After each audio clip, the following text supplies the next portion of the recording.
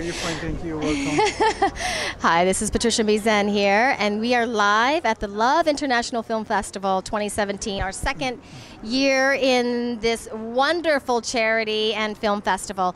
I am standing with Ata Serv- Servata, Servati, who is the founder and CEO of this uh, of the film festival and charity.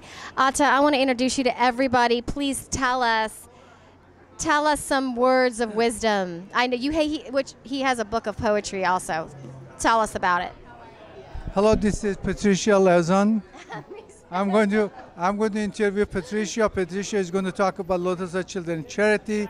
She's a great supporter and a board member and everything. What do you think about children charity? Oh, you know Lotus this Light. charity. First of all, That was a good one, huh? Oh my gosh, Lotus Light Children's Charity. Let me tell you first of all, the Love International Film Festival is a, a beautiful film festival that encourages love and peace.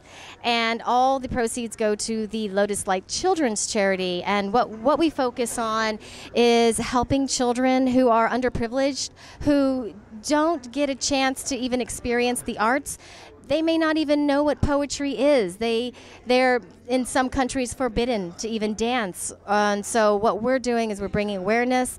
We're trying to bring in ambassadors on to help these children and provide them with an education to learn the arts for love and peace and we're having everyone come and join us for this celebration along with the filmmakers and um, producers and directors so we are so proud Ata thank you for doing this and founding this foundation Thank you for being here. I really appreciate it. Thank you. Thank you. He's so humble. Thank you. You're great. Thank you.